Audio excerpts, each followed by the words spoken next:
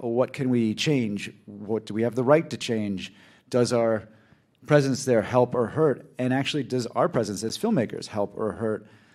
You know, we had to insert ourselves into the story in this instance. You know, we did pay for Rita's husband to divorce her.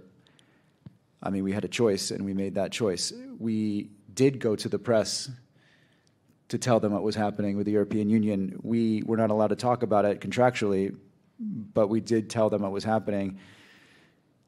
They picked the fight with the wrong people. I mean, we knew every single journalist in Afghanistan. So, um, but we made it clear that we wanted to, to do that to tell the story of these women. And so, when Gulnaz agreed to speak to the press, that was a win for us. And